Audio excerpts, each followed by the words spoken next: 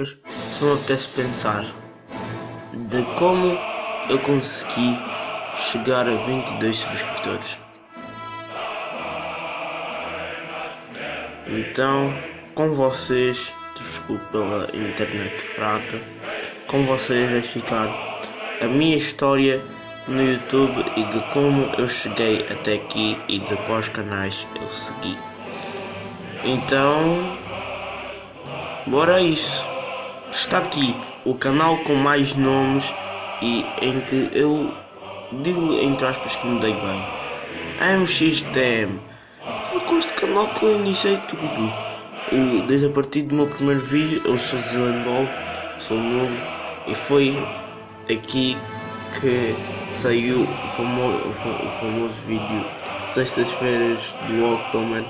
Meu Deus, era quando eu jogava no Fire e um dos meus dias mais premiados era Grandes Safados. Vejam o vídeo jogando Free Fire. Meu Deus, foram, foram. E foi aqui que eu festejei os meus 5 subscritores. E foi aqui que eu, que eu celebrei os 5 subscritores, porque eu ganhado os meus 5 subscritores. E tipo, houve mudanças no canal, comecei a fazer no, novos vídeos, aqui que eu joguei com, com youtubers mais famosos, o Falcão e Freestylers, meu Deus foi tão fixe. E aqui quando eu fiz o tutorial de como ganhar mais subscritores, mas incrivelmente que parar. Zuka Billy, mano, é, é, também se não fosse esse, esse canal fantástico com um monte de vídeos, nem sei. Mano, foi ele que me ajudou também a estruturar o meu canal e, e começou a espalhar a ideia de que, de que eu tinha um canal. Daí começamos a divulgar muito. Foi muito da hora, muito da hora.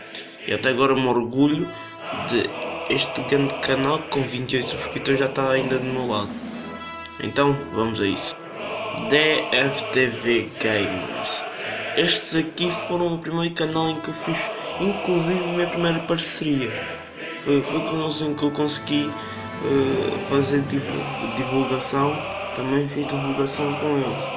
Então, mano, foi o primeiro canal, foi o primeiro canal em que eu comecei a fazer assim propostas e garantias, mano. E começamos a divulgar. Freestylers da Alameda, mano. Este, este canal era famoso por ter views. Por, e também, graças a isso, eu comecei a ganhar um bocadinho aos subscritores. Mas, comparado com eles, é. Os gajos só sabiam fazer, fazer pessoas fazer views, mano. Só views. E agora chegamos a ela. Uma das pessoas que mais me ajudou. É lá Freestyler. Mano, não sei, não sei porque aqui não está com todos os vídeos.